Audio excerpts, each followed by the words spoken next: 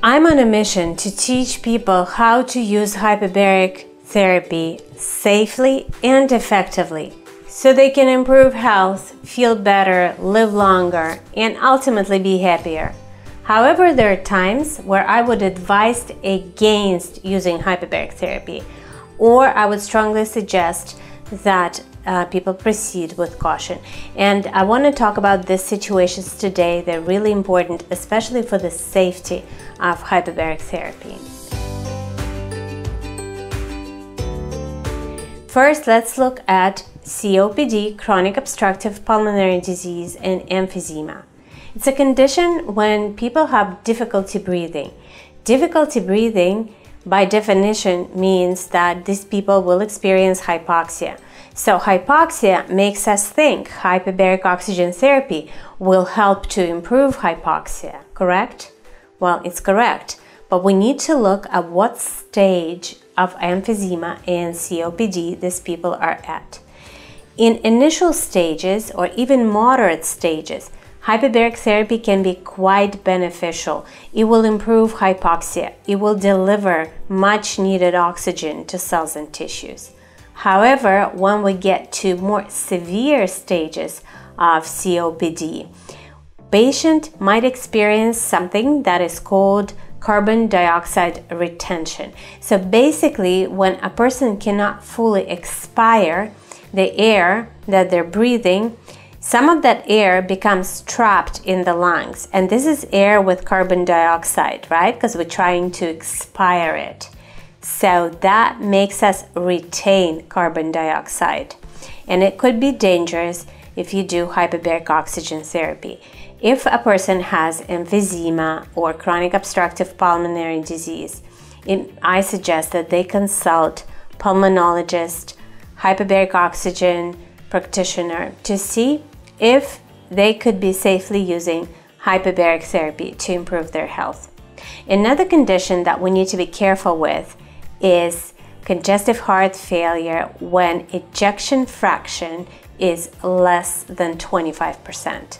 Normal ejection fraction is between 55% and 70%, and ejection fraction measures the amount of blood that heart can eject. So when that is not the right amount, when it's significantly lower than normal, hyperbaric therapy can be dangerous.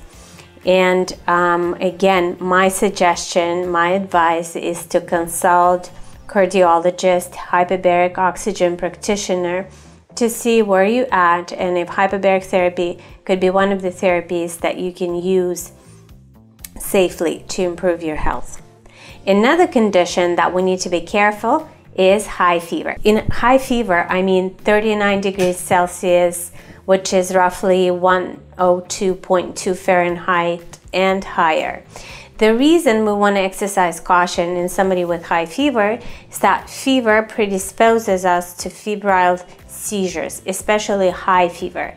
And um, again, it, because of the febrile seizures, can predispose us to oxygen toxicity situation. It's not an absolute contraindication. It doesn't mean that it, but under no circumstance we can treat a person with high fever.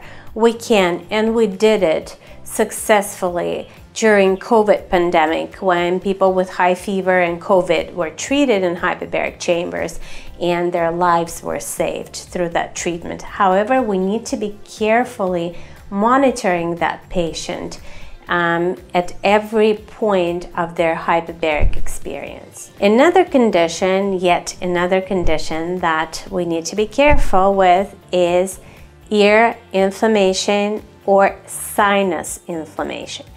And the reason these two conditions might be a relative contraindication to hyperbaric treatment is that with pressure change and those cavities being inflamed, person might experience a lot of pain and they would have difficulty equalizing pressure in their ears or in their sinuses, which is not a good thing because it predisposes us to barotrauma, trauma of the ear. Example could be ruptured tympanic membrane. Somebody has inflamed ears and hyperbaric is not a life saving measure for them. I suggest that they go home, they use some home remedies um, if they can, because I'm always for natural therapies to bring down inflammation in the ear and in the sinuses. They might want to look at allergens. Anyways, they need to have that treated first and then come for their hyperbaric session. Again, if it's not a life threatening situation, such as uh, arterial gas embolism or maybe decompression sickness, then we would use medications to help that person go through hyperbaric experience. One more condition that we think of when we think about relative contraindications to hyperbaric therapy is congenital spherocytosis and sickle cell anemia. These are two conditions when the red blood cells are shaped abnormally. When we subject those red blood cells, when we put them under pressure in a pressurized environment in a hyperbaric chamber, we might stimulate hemolysis when they would just burst inside. Having said that, in literature, we see many examples of people both with sickle cell anemia and congenital spherocytosis treated in hyperbaric chambers. They've received hyperbaric treatments for something else that they might had, and hyperbaric was an indication, and they did absolutely well.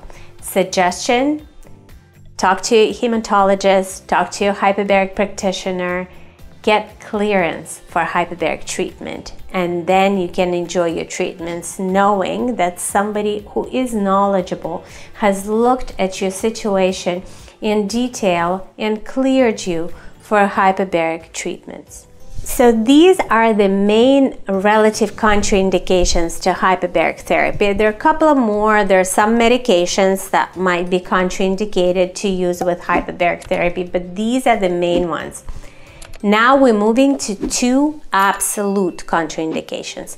Absolute means that under no circumstance, although there will be a small exception to that rule, you will see now a person with that condition should be treated in a hyperbaric chamber. One is untreated pneumothorax. Untreated pneumothorax is a condition when a person has a collapsed lung. Now, if it's a tension pneumothorax, then a person would probably know that they have one because of the sharp stabbing pain, difficulty breathing, maybe they fell, that's how they developed pneumothorax. But other people might be walking around with some mild pneumothorax and not even knowing about it because maybe they had an infection that caused pneumothorax, maybe they had pneumothorax in the past. That's another red flag that we need to pay attention to. And the reason we're not treating somebody with pneumothorax is that that situation under hyperbaric conditions could lead to tension pneumothorax, which is potentially a life threatening condition. And the last absolute contraindication, and you'd be surprised here, is inability to equalize pressure in the ears. How simple is that? Well, first of all, and I hear it over and over again, people go to a hyperbaric facility and they do their first hyperbaric treatment and they're not being instructed on how to equalize pressure in the ears.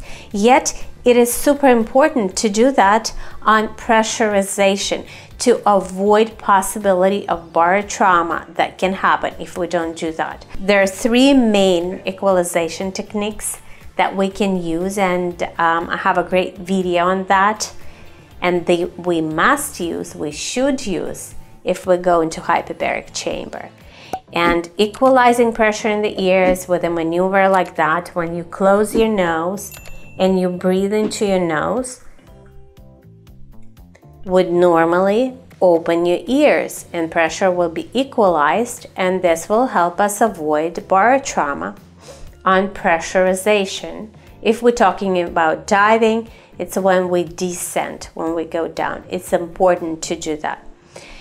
Before somebody starts their hyperbaric experience, they need to try those techniques. They need to see whether or not they can do it easily. Some people need to yawn, some people need to close their nose, some people need to swallow to equalize their ears. And normally, most of the people can do this easily.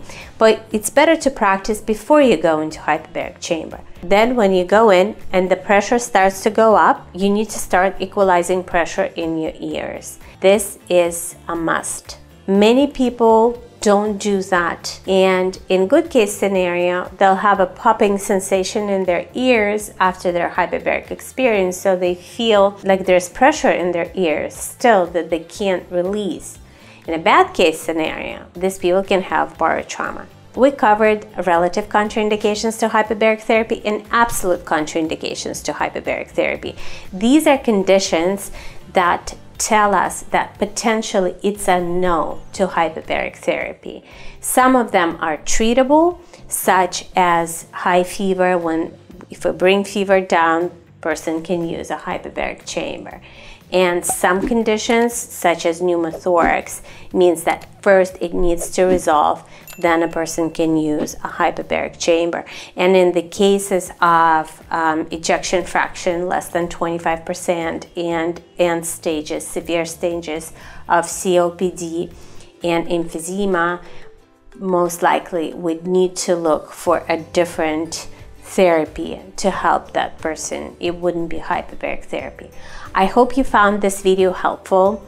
Subscribe to our newsletter to get all the information about hyperbaric oxygen therapy, how to use it safely and effectively. Don't forget to give us likes and subscribe to our channel.